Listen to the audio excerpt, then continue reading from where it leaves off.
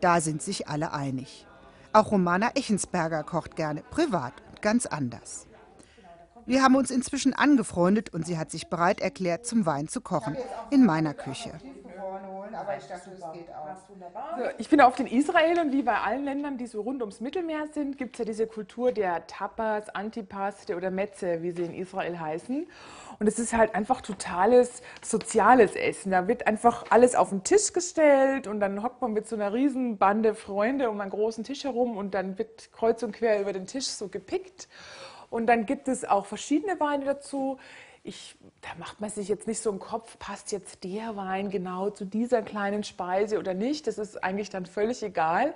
Es geht so ein bisschen um dieses Zusammensein, sich des Lebens freuen und einfach ein paar Sachen, ein paar tolle, gute, leckere Sachen zu essen und mit einem tollen Wein zu genießen. Und dann einfach sprechen, lachen, diskutieren, sich des Lebens freuen. Das also du nimmst das jetzt alles gar nicht so genau mit dem, was passt zu was und so. Ja, also, nee, nicht, nicht, nicht immer. Also manchmal, wenn man dann irgendwie so, so was ein spezielles Gericht kocht, oder ich war jetzt in Japan zum Beispiel und dann ist man so einem ganz tollen Sushi-Restaurant, so, also, dann macht man sich natürlich Gedanken. Weil dann, aber wenn man jetzt so irgendwie einfach mal so casual ist und einfach mal locker, dann finde ich auch, muss man sich doch nicht immer so einen Kopf machen. Wein ist Lebensfreude, finde ich. Sie fängt mit Baba Ganoush an, dem cremigen Auberginenmus. Dazu braucht man unbedingt die Sesampaste Tahin. Die findet man inzwischen auch hier in jedem Supermarkt. Also jetzt gebe ich einfach die äh, kompletten Auberginen hier drauf. Es sieht jetzt ein bisschen martialisch aus, aber dann geht das schneller. Man kann die also man gibt die bei richtig Hitze in den Ofen eine halbe Stunde von einer Seite, eine halbe Stunde von der anderen Seite und man darf sich nicht äh, ähm, schockieren lassen, wenn das außen so richtig schwarz wird und auch so ein bisschen verbrannt ist. Innen nimmt man ja dann das Fleisch dann raus, der Aubergine. Und ähm, dann hat es so einen tollen geräucherten Geschmack. Also das ist ja, das macht ja den Clou aus. Ich mag das total gerne. Also so auch zum Wein dazu mit so einem schönen Pita-Brot und das gut abgeschmeckt. Das Fruchtfleisch muss jetzt mindestens eine halbe Stunde abtropfen. Ich würde sagen, wir machen jetzt schon mal so einen Küchenschluck, oder? Mhm. Wir hier so schwer schuften in der Küche. Das ist jetzt ein Wein aus dem oberen Galiläa, der White Tulip von der Tulip Winery. Und das ist halt so ein richtig schöner, süffiger, frischer Weißwein. Das ist eine Cuvée aus Gewürztraminer und Sauvignon Blanc. Eigentlich ein bisschen ungewöhnlich. Also man, in Deutschland ist man eher nur reinsortige Weißweine eigentlich gewöhnt. Das ist eben eine Cuvée. Und den muss man jetzt richtig schön eisgekühlt. Ähm, das ist so ein Terrassenwein. Und eben auch in der Küche, mhm. wenn die Hausfrau ist und da hier ackert, dann ist das der ideale Küchenschluck. Und da geben wir jetzt einfach so eine Kühlmanschette drüber. Weil er ja schön kalt sein Ja, und, den, und, und, hier oben haben wir dann schon weggetrunken, weißt du? Das ja. kann dann nicht mehr warm werden. Also auch aus dem Aspekt sehr, sehr sinnvoll. Cheers. Cheers. mhm. Mhm. Also immer so ein bisschen so eine leicht ölige Textur. Der Sauvignon Blanc bringt aber nochmal so eine Frische ja, hinten raus. Mischung ist toll. Das ist eine tolle das Mischung. Das gefällt mir gut, ja. Ich liebe Sauvignon Blanc. Und das ist ja auch so ein Wein, auch Gewürztraminer, den man sehr gut zu sehr stark gewürzen, sagen das chinesischen Essen oder so. Genau, kann ja? man super ja, machen. Ist ja gut, ne? Der ist trocken, also der hat ein paar Gramm Restzucker, aber die merkst du nicht. Aber du mhm. hast halt dann nochmal so schön am Gaumen nochmal die ganze Frucht, die sich da so über den Gaumen verteilt. Das macht mir eigentlich äh, Spaß. Und Sauvignon Blanc, wenn du 100% Sauvignon Blanc hast, hast du manchmal auch sehr intensive Aromen, aber einen sehr dünnen Körper. Und Aha. hier hast du diese Mischung, wo der ja. Gewürztraminer dem Sauvignon so ein bisschen Fleisch auf die Rippen gibt. Das mag ich total gerne. Also du kannst das so gut erklären. ich, ich finde das super. Ja, das ist wirklich wahr. So kann man es ausdrücken. Ja, und, und, wir haben ja so auch von der so richtig so schlarzige Gerichte, also ja, Hummus ja, ja, genau. und dann auch mhm. das Babaganusch oder halt auch dieser Shakshuka. Mhm. Ähm, mhm. Ich denke, da kann man gut mitarbeiten. Dann geht es weiter mit der Auberginencreme Baba Ganoush. So, das ist eben eine Sesampaste, die wird ja ganz oft verwendet. Ähm, hier haben wir noch ein bisschen Zitronensaft. Dazu Salz, gemahlener Kreuzkümmel, Knoblauch nach Geschmack und bei Bedarf etwas Wasser. Das Ganze wird püriert.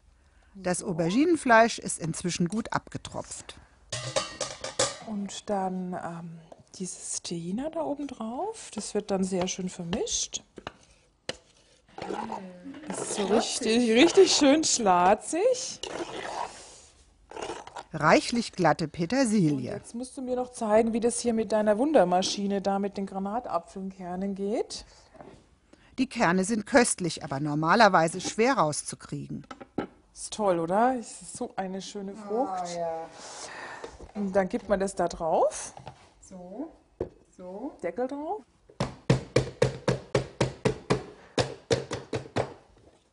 Ah ja, guck mal. Ja. Die kann man ja noch so ein bisschen mit der Hand. Ja, da muss so- man nur ein bisschen ausfriemeln, das Weiße, aber sonst geht's. Super. Die Granatapfelkerne mischt sie unter die Masse. Sie geben Säure und Biss. Abschmecken, fertig. Und weiter geht's mit dem nächsten Gericht. Also jetzt machen wir das Shakshuka. Das, kann, das muss so schön vor sich hinschmoren. Und da kann man so schöne ähm, reife Paprika, Tomaten reinschneiden. Und das kann man auch immer so variieren, ähm, was halt auch gerade so jetzt Saison hat. Das kann man jetzt einfach ähm, so beliebig zusammenschneiden, schon fein schneiden, aber es muss jetzt hier nicht so ähm, akribisch gehen. So, ich habe auch mal in der Küche gearbeitet, als ich meine Ausbildung gemacht habe. Aber es ist- Ausbildung? ich habe eine Restaurantfachfrau-Ausbildung gemacht, äh, Königshof in München damals. Und habe auch so ein Jahr Hotelfachschule gehabt in Altötting im Internat. Das war ganz toll. das war total Also so lustig. richtig das ursprüngliche. da so- Ja, ja, ja, total lustig. Noch ein paar Tomaten. Gut. Ähm, bei Knoblauch, das sollten wir jetzt bei dem Gericht nicht sparen. Und nachdem wir ja jetzt alle Knoblauch essen, dann ist das ja kein Problem. Können wir vor uns hinstinken. Also ich würde jetzt da mal so drei, so zehn machen. Also schon gut. Schon. Und das macht nichts, wenn man Wein trinkt. Ich meine, Ach nee, du, ich, also ich weiß jetzt nicht, wenn du jetzt so, ich, ich war ja auch lang Sommelier. Ach, ich weiß auch nicht. Ich würde sagen nein. Hauptsache schmeckt. du, du nimmst jetzt den Leuten so ein bisschen die Ehrfurcht, die Angst davor, dass man den falschen Wein trinkt. Natürlich, also ich meine, Wein ist Lebensfreude und wenn man äh, die Dinge so kompliziert macht, dass man eigentlich das äh, eher irgendwie verklemmt dem gegenübersteht, dann hat man ja schon was falsch gemacht. Ich äh, weigere mich da. Und dann muss man einfach alles anschwitzen. Richtig schön, dass das so richtig schön zusammenschmurgelt. ein bisschen getrocknete Chili. Und dann gibt sie das Gemüse, eine Dose gestückelte Tomaten und ein wenig Wasser in den Topf. Damit sich das auch schön mm, schmoren kann. Jetzt wird gewürzt. Also ganz gern auch Salz. Das ist ja dieser süße Paprika hier. Und wieder Ja, Kreuzkümmel. das ist schon auch sehr intensiv, Ja. oder? Also, aber der Kürt, der gibt schon so einen Pfiff dann da auch rein. Er hat auch gleich diese, diese Richtung. Total. Diese orientalische Küche. Denn das ist ja im Prinzip, sind ja die Gerichte auch sehr ähnlich. Ich meine, sie sind jetzt Ja. israelisch, aber die Kann auch können genauso äh, libanesisch sein. arabisch sein. Total, ja, das ist ja alles äh, ja, aus einer Ecke. Ja. Das Gemüse muss jetzt richtig einkochen. Die Zutaten für das nächste Rezept sind ähnlich. Dazu kommen Mangos und Hackfleisch. Kennst du diesen Koch Tom Franz? Hast du von dem schon mal gehört? Das Ja. ist so ein, ähm, ein Deutscher, der ähm, nach Israel irgendwie ausgewandert ist und dort eine Kochshow gewonnen hat. Also ganz witzig. Und der hat auch ein tolles Kochbuch und da habe ich dieses Rezept da eben raus mit diesen Hackfleischbällchen, mit dieser tollen Paprika-Mango-Soße. Die finde ich ganz, ganz äh, super und gut. Und dann dachte ich mir, Mensch, nachdem ja der Rest eigentlich alles vegan ist, das ist mir jetzt auch erst irgendwie aufgefallen. Ähm, ich komme aus Bayern, ich bin alles andere als vegan. irgendwie fehlt einem das ja dann auch da gar nicht. Aber dann machen wir eben da diese Fleischbällchen ähm, dazu. Wir machen ja diese Hackfleischbällchen schön klein. Und die Nüsse geben dann nochmal so einen extra Biss dann auch da rein. Und die kann man auch super vorbereiten. Ich weiß ja, weißt du, ich, wir haben zu Hause wirklich immer viel Gäste auch. Und da will ich auch die Zeit mit meinen Gästen verbringen. Und dann haben wir hier das Rinderhack. Man kann jetzt auch ein bisschen, das könnte man jetzt auch mit ein bisschen Lammhack noch machen. Aber Lamm mag nicht jeder. Was tust du da denn jetzt drauf? Das ist jetzt einfach äh, ein bisschen Semmelbrösel, ähm, damit es auch bindet. Also ich weiß nicht, ich mache das immer auch so frei Schnauze. Also man, äh, man hat dann irgendwie so ein Rezept dann mal so gesehen und dann, Auch Knoblauch und Zwiebeln macht sie Freischnauze rein. also man kannte die jetzt noch so ein bisschen anschwitzen vorher, aber ich mache das immer nicht. Also so, ähm, ich mal hier. Bei diesen Rezepten geht nur glatte Petersilie. Die sind ja eh aus deinem Garten, jetzt muss ich es auch nicht mehr waschen, oder? Kann ich die einfach, das darf ich einfach so nehmen. Okay, gut. Die tue ich jetzt auch äh, fein hacken. Bisschen Pfeffer. Salz, den obligatorischen Kreuzkümmel und Paprikapulver. Also ich gebe das ja immer so in die Schüssel rein und ähm, ich, ich knete das mit der Hand. Also das muss man ja so richtig schön hier so durchmanschen. Wenn die Masse gut durchgeknetet ist, werden daraus möglichst kleine Bällchen gerollt.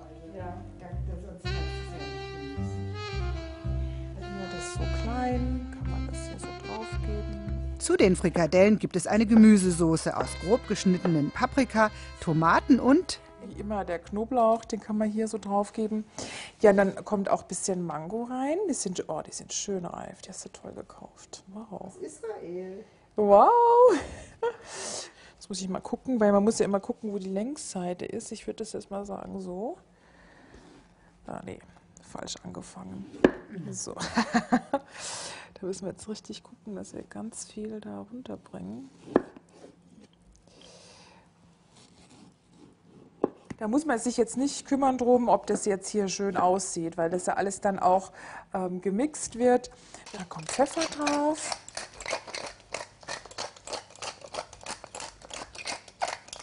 Dann ein bisschen Cayennepfeffer, von dem Kreuzkümmel auch drauf.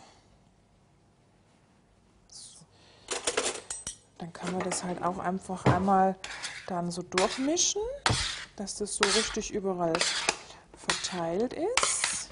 Ja, das ist auch wunderbar. Bei 180 Grad eine halbe Stunde in den Backofen. In der Zwischenzeit kann man die Hackbällchen braten. Hier schmuddelt auch schön vor sich hin. Die könnte man jetzt noch ein bisschen kleiner machen. Also ein bisschen so. Ah ja, Aber wir sind der Hausfrau. Genau. also ja, einfach, dass du so ein bisschen röstest und wir tun die ja dann sowieso noch mal in den Ofen bei Ober- und Unterhitze. Dann ziehen die richtig schön durch und werden dann auch noch mal so richtig knusprig. Ein bisschen runter machen. Zunächst stellt sie jetzt aber die Shakshuka fertig.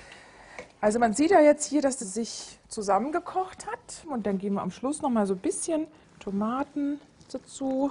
So, und dann brauche ich mal den Bernd. Der muss mir jetzt hier mal assistieren. Guck mal, du musst dann so ein, so ein kleines Loch machen in die Masse und den Löffel so halten. Und ich schmeiß, ich tue dann da das Ei rein. Ah,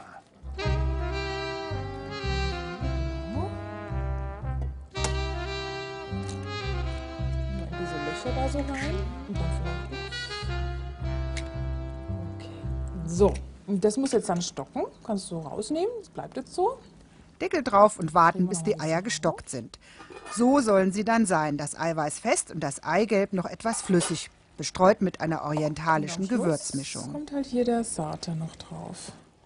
Das ist einfach mal auch ein schnelles Abendessen, finde ich. Wenn man jetzt mal isst man ähm, so mit, mit diesem Fladenbrot dazu. Und dazu trinkt man Wein. Das machen wir einfach so. Das Gemüse für die Soße zu den Fleischbällchen ist nun auch gar. Es kommt in den Mixer und wird fein püriert. Wer es ganz perfekt will, kann es auch noch durch ein Sieb streichen. Ne? Aber Romana findet, dass es so in Ordnung ist, wie ich. Die Frikadellen waren noch mal im Backofen und sind jetzt durchgebraten. Darauf kommt die abgeschmeckte Mango-Tomatensoße. Würde ich sagen, jetzt gibt es mal was zu essen, oder? Ich habe jetzt richtig Hunger. so, bitteschön. Meine schönen Fleischbällchen hier. perfekt. Auf zum Essen. Aber vorher gibt es noch einen anderen Wein. Jetzt machen wir einfach mal einen Rotwein dazu. Du kannst auch einen kräftigen Weißwein dazu nehmen mit den ganzen Gewürzen. Aber ich dachte mir, nehmen wir doch mal noch so einen schönen mediterranen Rotwein, einen Carignan. Jetzt auch nochmal aus Israel.